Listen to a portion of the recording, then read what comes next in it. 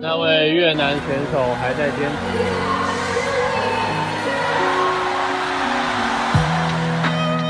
跳马项目，乌兹别克斯坦马将丘索推进党。When is your best age?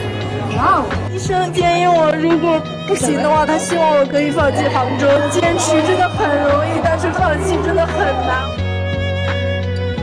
一直在咬牙坚持，可惜的是，到了最后的二百米，没有能够守住属于他自己的位置。如果池江能在这次比赛中拿到一枚金牌有多好，就是这种惺惺相惜的感觉吧。啊，这一幕太让人动容了！陈芋汐和全红婵两个人紧紧的拥抱在一起。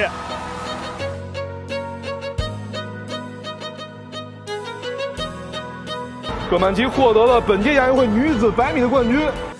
我们要完成我跟师傅一起共同的目标，所以坚持到现在。师傅，你应该看到你的徒儿们都这么厉害。